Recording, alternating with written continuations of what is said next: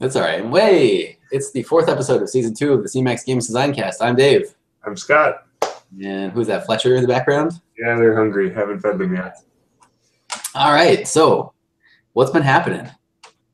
We've been shipping. Shipping. many email notifications. Your order has shipped. Your order has shipped. Your order has shipped. Thousands of times. Your order has shipped. Yes. Um, by the end of this week, all of our Kickstarter backers, asterisk, uh, should have gotten their games. Um, the asterisk is for people in Canada. Uh, if you're in Canada, Snakes and Lattes has the games, and they will be shipping them out very soon. So you should have them, I think, by next week. And then double asterisk, if you are somewhere in the world that's not Europe, not Canada, and not the United States, then we have to figure something out. Because Amazon's global export, uh, yeah, it's like the um, uh, I don't know the bottomless pit of support, useless support, basically.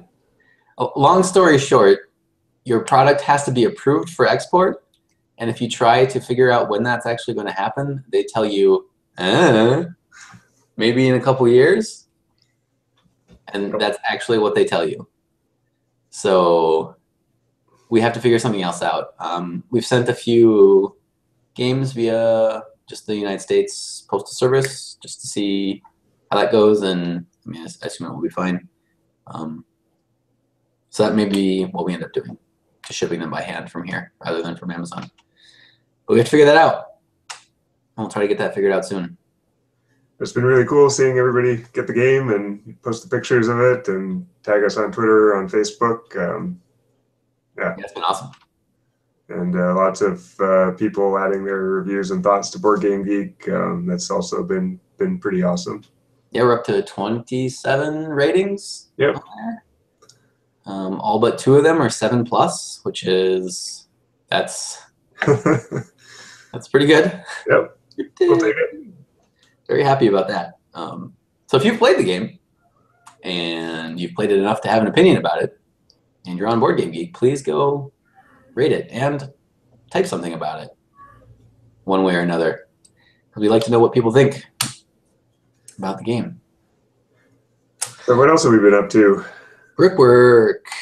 Brickwork. So we took Brickwork to Gary Con, which we talked about, I think. And I took Brickwork to Protospiel last weekend, which was a lot of fun. I just went down for Saturday. I left here at 8.30 and drove over to Milwaukee and played games all day and got home at about 1 in the morning, which is a long day, but it actually felt like it went very quickly.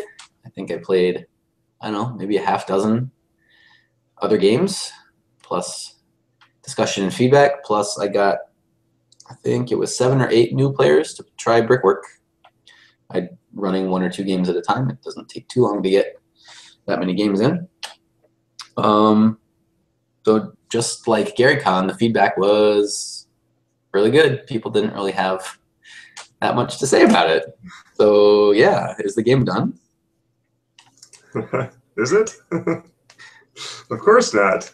Um, yeah, so I think we're gonna work on it quite a bit, even though for the last long time there hasn't been much feedback. Um, I've kind of felt like we needed to have uh, we need to be brave, basically, um, and just try something drastic um, to sort of fix the little nagging concerns that like I've had or you've had for a while. Uh, you know, it's just like little things that add up that maybe people don't notice the first few times they play the game, but when you teach it over and over again and watch people play it, just these little things like I don't know, they get into your brain and at some point you have to do something. Yeah, I think to a certain degree too, it's a little like uh, you know working over the for the game over a while. You, you can get a lot of oh, it's cool if this or whatever, and it could be a little like the boiling frog, you know, uh, frog in a pot of boiling water, where you know each change seems like oh, that's pretty cool, but you know you kind of step back and you're like, wait a minute. Um, uh, so it seems like we're trying to sort of get back somewhat to the um, just simple roll dice, collect bricks, build. Yes, to some extent, yeah. Um, reducing the game to its core. Yep. And taking out all the fluff. Um, so we can talk about that more, a lot more, possibly, in future Yeah. design casts. Um, We will have a chance to try it out this coming weekend at uh, Gaming Hoopla, and so you know we'll let you know what we think.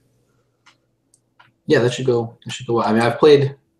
I've I've made a pretty major overhaul. I mean, it reminded me a lot of staying up all night and redesigning the mining mechanic in Copper Country uh, between nights one and two of the first Protospiel.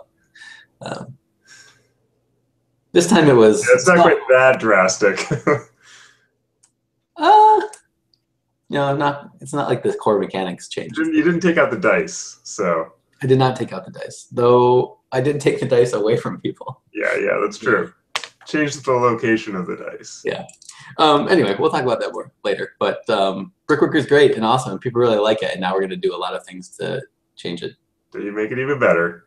It'll make it even better. So if you liked it already, oh man. Okay, so we're beyond our five minutes per Surprise. episode, which we'll never ever actually meet. um, so hopefully sometime soon we'll do uh, episode five and talk about what we're actually going to do to Brickwork. And I'll probably go feed my cats. All right, man. Later. Bye.